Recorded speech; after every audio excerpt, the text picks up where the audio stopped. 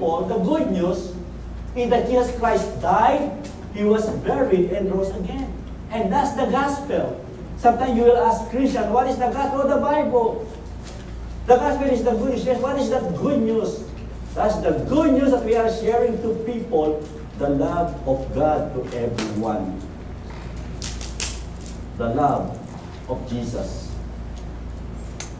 For evangelism to be effective, the Christian must recognize that God evangelist is called to all Christians. We are all called to share. You may be sharing through your life testimony. You may be sharing through, probably through social media, or probably through music, or personal evangelism. In different ways, God calls us to be a real witness. Reading witness in the day of Pentecost, you will see, a lot of people got saved. A lot of people got saved. They meet together, like every day. Sama-sama sila, lagi sila magkakasama. So let's read verse 13 in our text. Acts, please. Look at in verse 13.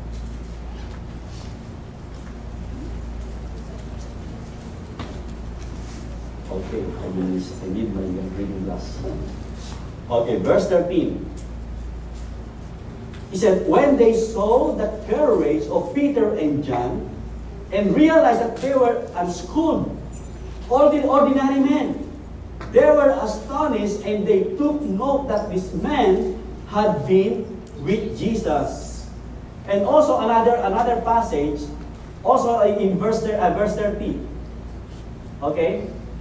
Uh, verse uh, verse 20, I mean, and then verse 20.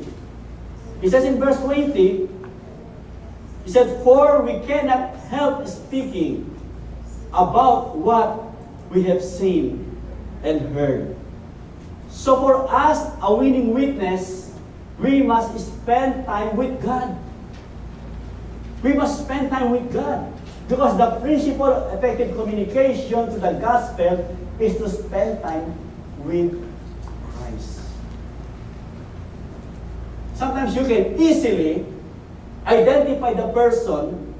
For example, if Lobelia is very close to someone, if Lobelia loves eating, that's people like eating, just an example. You will say that the person that he always with her loves eating too. Okay? And if a person that you are always going to, they love, for example, sports or watching sports or, or, or doing uh, like fishing, you can easily identify. So a real way to spend time with God. So we know those, those, those disciples who always spend with God, you know. And we know who is God, who is Jesus, what He's doing. He prayed, He, he preached, He healed people, and He evangelized, He shared the salvation or the good news of the Lord Jesus Christ or the gospel. Spend time with God and also prayer. So that's the principle of communication that has to spend time with Christ. And nowadays, Christ is not visual. And how we can spend time with Christ? Through the Word of God. Studying God's Word. And so important. Because in verse 7 he said the community took note that this man had been with Jesus. That's in verse 20. And Peter informs the religious leaders that he is simply speaking about things he had seen and heard. And this verses obviously refers to Apostle Peter. But the next reveals a simple yet powerful truth for all the believers to embrace. And then because we talk about those things, that interest us. Even grandparents talk about grandkids. Some people talk about politics. Other talks about sport. Especially this morning, if you will see some, especially men in the church in, a different corner, they are talking about Manny Pacquiao. Alright?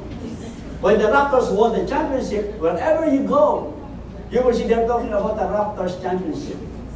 But in here, the process, they are talking to each other about what Christ has done to Peter and the other disciples.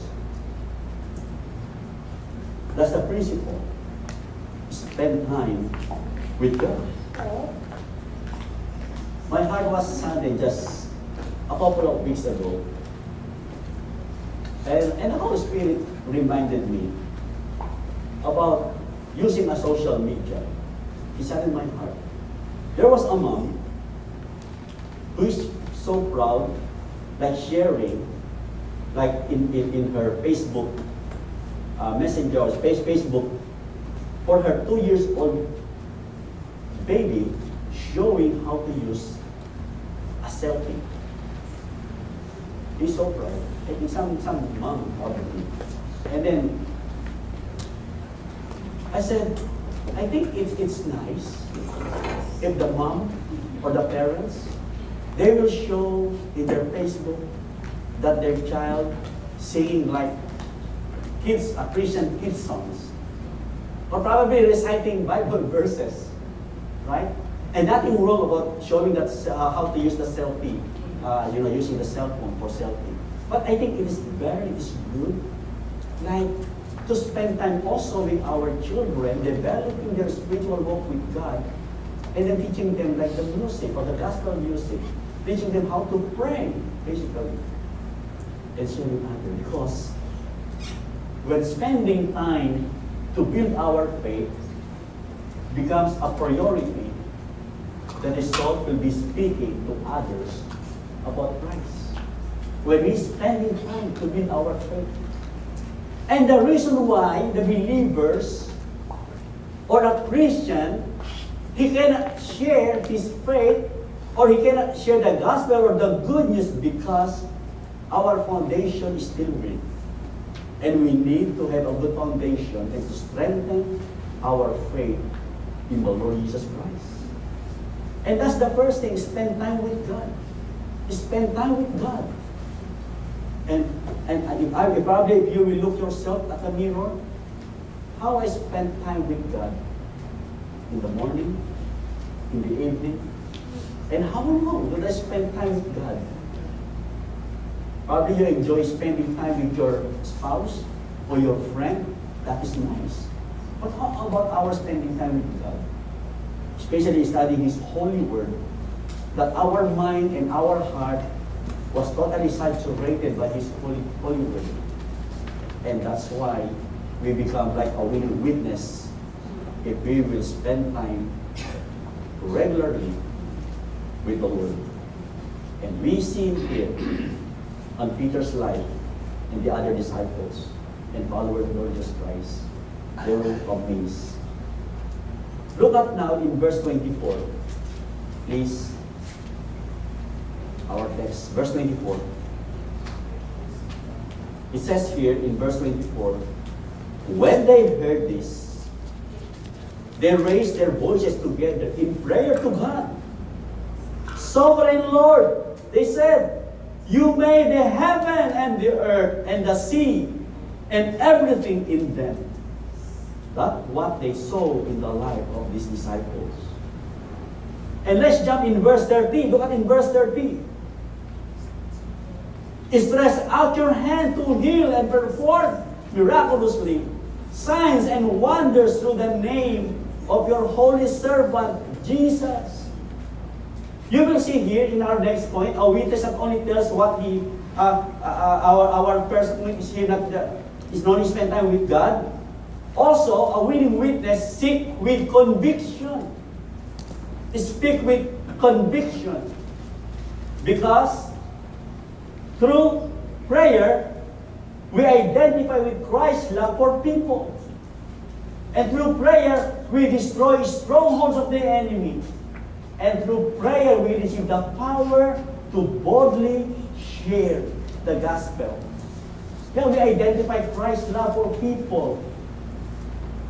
I remember that day when I committed myself to God into the ministry. It is because I identify the need of a lot of people who are lost, who are dying. So through prayer, we will seek with conviction.